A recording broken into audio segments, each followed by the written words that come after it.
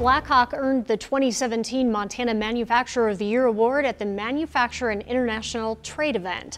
The company was nominated for the award because of its operational excellence and its commitment to Blackhawk employees.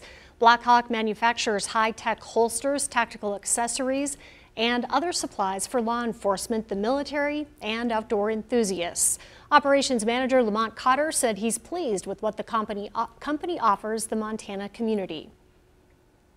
We take the raw plastic resin and transform it into the very best military and law enforcement gear. We're really proud of that.